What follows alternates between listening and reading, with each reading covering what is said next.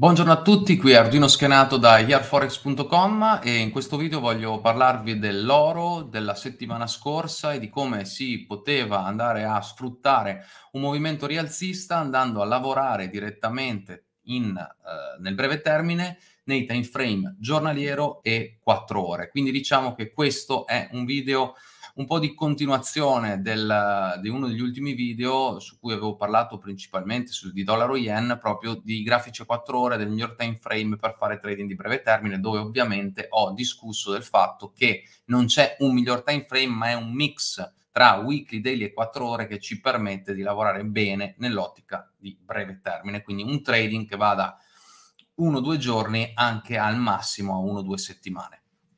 Allora, andiamo a vedere che cosa è successo sull'oro eh, che si poteva sfruttare nell'ottica di trading, nell'ottica eh, di un trading esclusivamente basato sulla price action e che in effetti poteva dare anche dei buoni risultati con, diciamo, eh, dei rischi che possono essere abbastanza, eh, diciamo, realistici soprattutto, ma, mh, diciamo, eh, piccoli no? rispetto al eh, possibile profitto.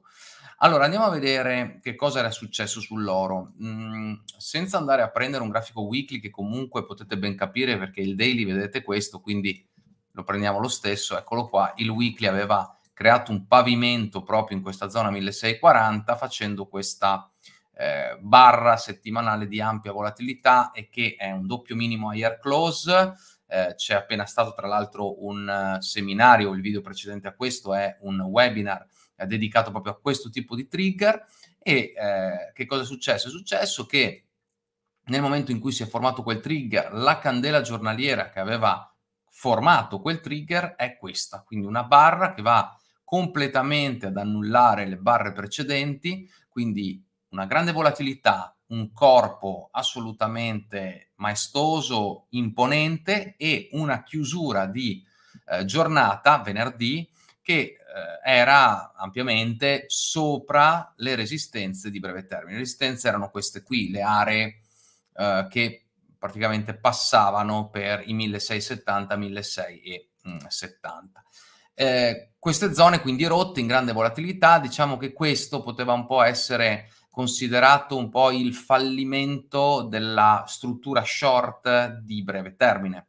Quindi principalmente il daily ci mostrava un segnale long, ci mostrava una dinamica, un'informazione long, ok?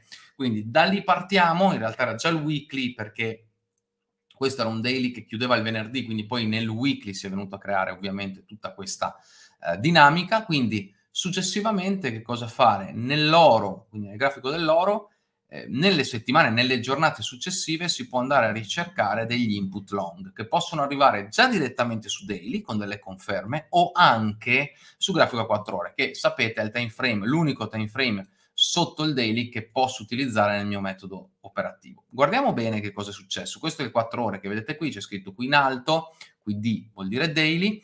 Ecco, guardate, allora, movimento rialzista e una giornata di consolidamento. Eccola qua, la inside bar. Questa qui è la classica inside bar, eccola qua, che consolida al di sopra della resistenza. Quindi movimento, consolidamento, non chiude sotto, rimane lì e poi c'è la sparata su. Guardate quan, che cosa fa in questa zona. Quindi io questa, guardiamola nel grafico a 4 ore, quello a fianco, è mm, il movimento del venerdì che sul 4 ore è questo qua.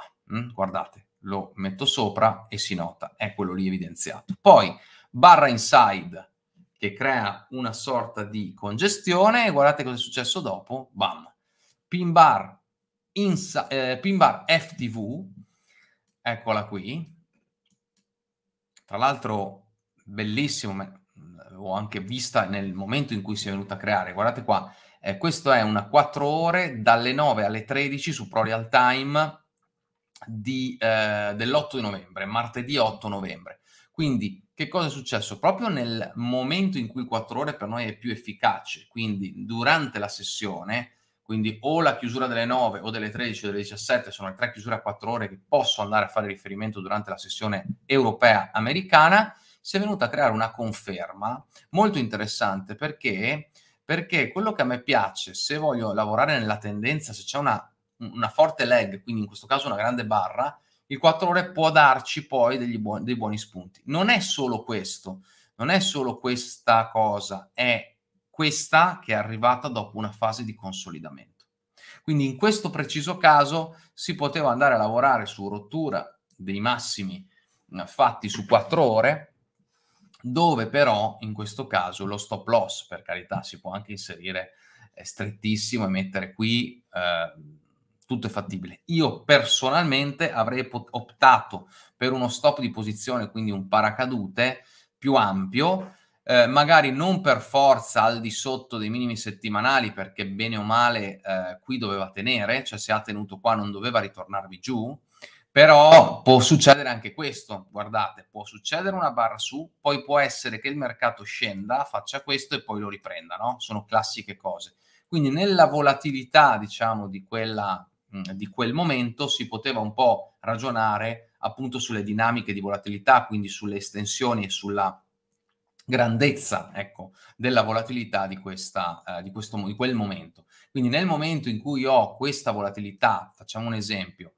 prendo da qui a qui tutta la volatilità del, del pullback, la duplico tac, qui e posso andare a inserire uno stop di posizione, guardate, un po' sotto questi mini, 1645, 1642. Quindi cosa significa? Significa andare a comprare qui, per esempio, pam, comprare, non so, 1674 e mezzo, 1675, quella poteva essere la, la giusta cosa, quindi vuol dire, vuol dire sul daily vederlo in questo modo, eh, unità di tempo superiori, Eccolo qua, quindi essere entrati long qui, non mettere lo stop subito qui, ma abbiamo detto a 1642. Quindi 1642 significa andare a impostare uno stop, eccolo qua, più o meno qua. Facciamo fare anche 1600, andiamo a vedere quanto è qui, 1645, 1643, benissimo. Ok, questo è un buon paracadute per il tipo di setup, perché io comunque la mia conferma ce l'ho su 4 ore, perché? Perché nel caso in cui lui può fare questo, io rimango comunque dentro il mercato e non mi, non mi fa uscire, e però non, quindi non vado a eh, inserire uno stop troppo stretto che può essere preso e poi viene recuperato. Quindi diciamo uno stop classico dove tutti, se ha fatto uno swing lì, vanno a, post- a impostare lo stop lì. Ecco, la mia l'informazione che voglio passarvi è non voglio andare a inserire uno stop che sia inserito dove tutti lo inseriscono. Ok, voglio che sia eh, non, non, non classico. Ok, quindi 1643, 1642 poteva essere un ottimo paracadute, oppure ovviamente al di sotto, ovviamente magari facendo un pensando anche alle percentuali di rischio su cui si può andare a lavorare. In questo caso, i 1643, uno 0,5 massimo 1% di rischio si poteva fare.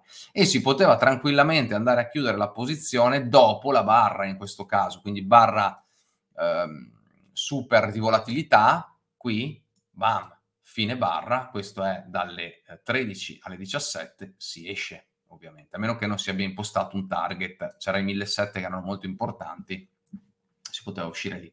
Bellissimo questo, eh? a livello didattico questo è un ottimo modo per spiegarvi come leggere bene un 4 ore rispetto al daily. Poi se vogliamo, guardate cosa è successo. Successivamente il mercato ha fatto una cosa simile, seppur non ha creato poi l'FTV ehm, pin bar, ha creato sempre una mini FTV ma diciamo intradabile, sono più inside queste qui. Ma la cosa che mi piace e che è più importante anche di questa è il consolidamento. Cioè il fatto che eh, dopo una struttura del genere, quindi un rientro eh, all'interno dei livelli precedenti di resistenza che diventano poi rotti, quindi potrebbero diventare supporti, la cosa più importante è la fase di congestione, la fase di congestione, ok? Queste sono le, questa è la cosa più importante, al di là poi di questo che diventa l'ultimo trigger, perché qui per esempio il fatto che lì congestioni si poteva invece andare ad inserire un long, in questo caso dove? Sui massimi di questo, sui massimi del pivot point, questo qui, questo è un punto importante che va a eh, creare la possibile volatilità rialzista, molte posizioni short che potrebbero essere nate su questo swing dove molti trader avrebbero magari venduto su, queste, su questi livelli, dov'è che vanno a stoppare? Vanno a stoppare qui. Quindi qui ci può essere l'aumento di volatilità. Quindi in questo caso la congestione può essere utilizzata sulla rottura al rialzo di questo, di questo, uh, di questo spike. Anche qui bisognerebbe andare sempre ovviamente a lavorare sulla volatilità come paracadute, quindi prendere anche qui magari il eh, minimo massimo, duplicarlo sui minimi e utilizzare uno stop che almeno sia a 1676, 1675, non prima, uno stop, uno stop paracadute che ci permetta, an- nel momento in cui lui eh, faccia un movimento long, qui ci permetta di uscire dal mercato senza dover essere troppo frettolosi e capire esattamente quello che può avvenire. Quindi questo volevo farvi vedere oggi, volevo farvi vedere questa dinamica eh, degli 4 ore che è molto didattica, può aiutare molti di voi che eh, vogliono imparare questa metodologia di trading che io utilizzo da tantissimi anni, potete anche vederlo dai video che ci sono qui, i primi risalgono al 2010 e io non ho mai cambiato la mia operatività, seppur sia un po' evoluta ovviamente perché io sono diventato più bravo, più esperto, ma le basi sono le stesse.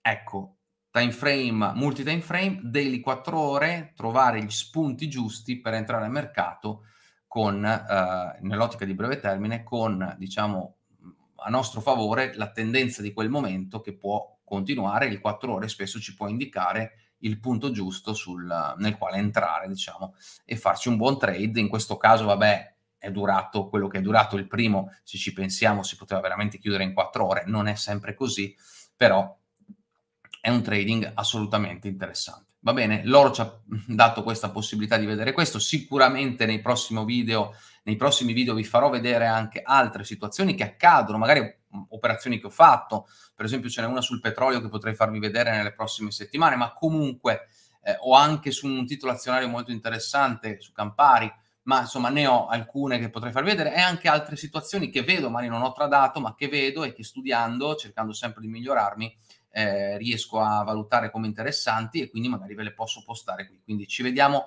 ai prossimi video, io vi saluto, vi auguro un buon trading simple e al prossimo video. Buon trading simple, ciao a tutti.